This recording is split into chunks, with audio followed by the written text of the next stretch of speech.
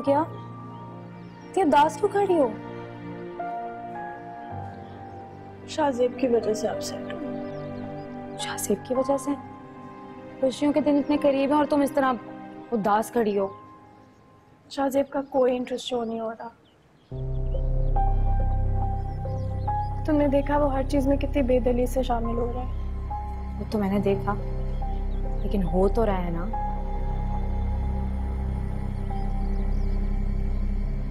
कुछ ही दिनों की बात है नंदा फिर शादी हो जाएगी। किसके पास आएगा? तुम्हारे पास। और अगर शादी के बाद भी उसका यही रवैया रहा तो क्यों रहेगा? चलो इन केस अगर ऐसा हो भी जाए कितने दिन तुमसे दूर रहेगा? आना किसके पास है? तुम्हारे पास। कहते तुम ठीक ही रही हो। इस वक्त तो बस यही सोचो कि शाहजेब ने खुद शादी के लिए प्रपोज किया है। और ये किसी मुआजे से कम नहीं है।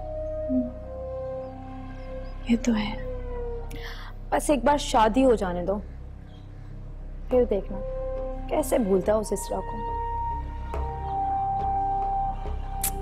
खुश रहो।